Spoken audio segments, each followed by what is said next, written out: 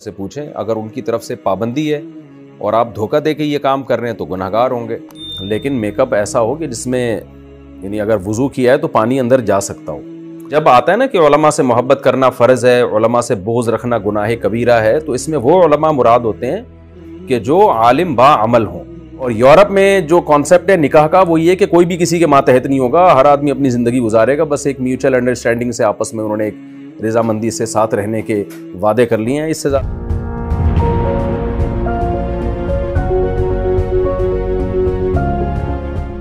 आठ मार्च वाले है या जो खातन का आलमी दिन मनाया जाता है उस दिन के हवाले से बहुत सारे सवाल उठे जाते हैं। तो एक बुनियादी सवाल ये है कि इस्लाम में जो है वो तलाक़ का हक़ जो है वो खातून को यानी ख़वान को क्यों हासिल नहीं है? अगर ख़वान को ये हक़ कोई मर देना चाहे तो वो कितनी तलाक़ों का हक़ दे सकता है? तो ये खूब अच्छी तरह समझ लें लोगों को मैं करेक्शन कर रहा हूँ कि तलाक़ मर्द को नहीं दी जाती, तलाक़ औरत को दी जाती है। अगर औरत को मर्द ने तलाक़ का इख्तियार दे दिया तो भी औरत अपने ऊपर ही तलाक़ वाक़ करेगी। वो ये नहीं हो सकता कि मर्द को तलाक़ दे दे, क्योंकि तलाक़ का मतलब है आज़ादी। तो औरत बाउंड होती है निकाह के बाद तो आज़ाद भी औरत ही होती है। मर्द ना बाउंड होता है, ना आज़ाद होता है। क्योंकि औरत मर्द के मातहत होती है। हाँ मर्द जिम्मेदारियों का पाबंद ज़रूर होता है, लेकिन औरत के मातहत नहीं होता। इस्लाम में जो शादी का कॉन्सेप्ट है, उसमें यह कि औरत शोहर के मातहत होगी। और यूरोप में जो कॉन्सेप्ट है निकाह का, वो ये कि कोई भी किसी के मातहत नहीं होगा, हर आदमी अपनी ज़िंदगी गुजारेगा, बस एक म्यूचुअल अंडरस्टैंडिंग से आपस में उन्होंने एक रजामंदी से साथ रहने के वादे कर लिए हैं। इससे ज़्यादा उनके यहाँ मैरिज की कोई हैसियत नहीं है। लेकिन बाउंड इतना कर देते हैं कि तलाक के बाद आधी आधी जायदादें देनी पड़ती हैं। तो एक अजीब ही गैर फितरी सा निज़ाम मुसलत किया है। तो इस्लाम चूँकि दीन फितरत है तो इस्लाम ने यह कहा है कि औरत पाबंद होगी और मर्द उसका नान नफ़ा उठाएगा। अब जो पाबंद होता है तो आज़ाद भी वही होता है। तो पाबंद है तो मर्द जब उसको चाहे आज़ाद कर दे, तलाक दे दे। और उसको तलाक का इख्तियार भी दे सकता है कि तुम अपने आप को आज़ाद कर लो मुझसे, मैं तुम्हें ये इख्तियार देता हूँ। तो हमेशा तलाक औरत के ऊपर वाक़ होती है, मर्दों पर वाक़ नहीं होती। तो बाकी जो आपका सवाल है कि तलाक का हक बीवी को देने की सूरत में बीवी खुद पर कितनी तलाक़ें वाक़ कर सकती है? भाई, जितनी तलाक़ों का हक दिया उसने। क्योंकि मर्द तलाक का मालिक है तो वो दूसरे को भी मालिक बना सकता है। तो वो यूँ कह सकता है, बीवी को तुम्हें तलाक का हक है तो अगर ऐसे कहा तो एक तलाक़ रज़ी का हक है। अगर यूँ कह दिया तुम्हें तलाक़ बाइन का हक है तो एक तलाक का हक होगा, लेकिन वो ऐसी तलाक होगी जिससे निकाह टूट जाए। और अगर यूँ कहा तुम्हें तीन तलाकों का हक है तो तीन तलाकों का हक होगा। तो जितनी तलाकों का राइट शोहर बीवी को देगा, उतनी ही तलाक़ें औरत अपने ऊपर वाक़ कर सकती है। लेकिन ये खूब समझ लें, ये तलाक का हक शादी से पहले देने से औरत को हासिल नहीं होता। अभी किसी औरत से शादी हुई नहीं और कह दिया कि मेरी तरफ़ से तुम्हें तीन तलाक़ों का या दो तलाक़ों का हक है। फिर निकाह हो गया तो हक नहीं होगा। ये निकाह के बाद हक देने से या ईजाब कबूल में ये अल्फाज बढ़ाने से हक हासिल होगा। मिसाल के तौर पर काजी साहब निकाह पढ़ा रहे हैं और यूँ कह रहे हैं कि मैंने तुम्हारा निकाह इस औरत के साथ इस शर्त पे किया कि औरत को भी तलाक का हक है। तो मर्द फिर कहे कि हाँ कबूल है तो फिर ये शर्त होगी। निकाह से पहले अगर पेपर पे साइन कर दिए और तलाक का हक दे दिया, निकाह नामे पे साइन कर दिया अभी इजाब कबूल हुआ नहीं है। तो उसकी कोई शरी हैसियत कुछ भी नहीं है। लिहाजा इजाब कबूल के बाद हक देगा या इजाब कबूल के अंदर ये अल्फाज दोहराए जाएँगे अक्सर मौलाना फजलरहमान साहब की मिसाल लोग देते हैं कि जो भी है जिस तरह की सियासत भी करते हैं लेकिन आप उनके पीछे बातें नहीं कर सकते कि उनका शुमार भी उलमा में होता है। तो क्या एक आलिम के साथ ज़ाती तौर पर बहुत रखना उनके पीछे बातें करना उनसे अख्तिलाफ़ करना इस्लाम में वो जायज़ है? अलानिया गुनाहों में मुबतला हो तो वह आलिम आलिम है ही नहीं। क्योंकि आलिम जब शरीयत की अतलाह में कहा जाता है तो वो जिसके पास दीन का प्रॉपर इल्म भी हो और अमल भी हो।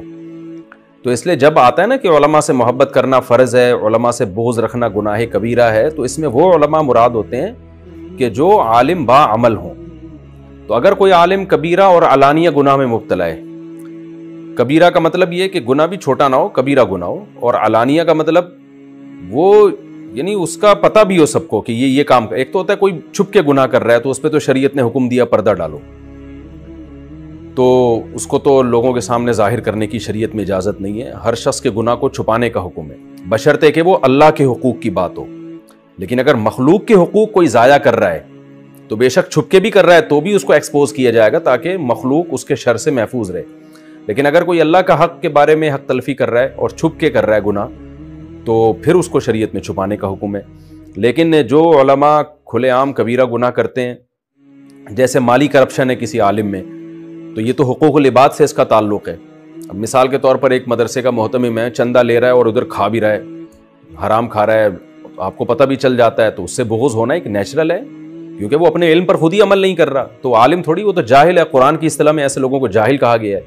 या कोई शख्स जक़ातें ले लेके खा जाता है ऐसे भी लोग हमने देखे हैं मज़हब के नाम पे मंजन बेच रहे हैं वो इदारे बना लेते हैं और अपने साइड बिज़नेस हो रहा था उन्हीं पैसों से। बहुत इस तरह का मजहबी लोगों में भी खराबियाँ हैं अच्छे भी होते हैं बुरे भी होते हैं। तो किसी ऐसे शख्स से बोझ रखना वो इंसान को होता है बोझ ये नेचर है इंसान की। तारे कि आजकल जो खातन है उसमें मेकअप का एक फ़ैशन भी चल रहा है। तो हमें ये बताए कि मेकअप के साथ क्या नमाज़ हो, हो जाता है या उसका बेहतरीन तरीक़ाकार क्या है? जी मेकअप करके नमाज़ पढ़ना जायज़ है। लेकिन मेकअप ऐसा हो कि जिसमें यानी अगर वज़ू किया है तो पानी अंदर जा सकता हो। और अगर वज़ू करके मेकअप किया तो फिर तो वैसे ही पानी तो चला ही गया तो जायज़ है कोई हर्ज जो है वो ये है कि यूट्यूब की भी एक पॉलिसी है।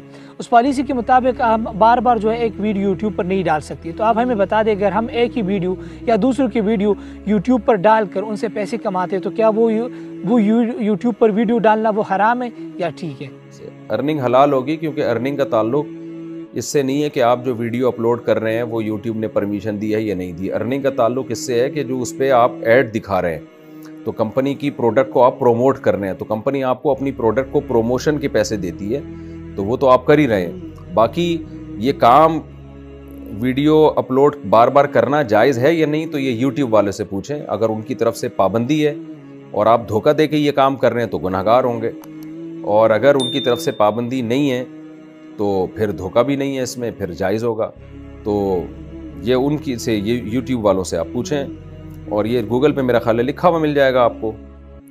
तो मेरा ख्याल है ऐसा नहीं है कि वो एक वीडियो को दोबारा अपलोड करना शायद यूट्यूब की नज़र में कोई कानूनी गलत है, वो उसको प्रोमोट नहीं करता यूट्यूब लेकिन उस पर मेरा ख्याल है कोई पाबंदी नहीं है। अगर होती तो यूट्यूब लगा सकता है, वो अपलोड ही ना करे, वो उड़ा देगा आपके चैनल से। लेकिन मुझे इस बारे में ज़्यादा मालूम नहीं है, ये आप यूट्यूब के माहरीन से रबता करें।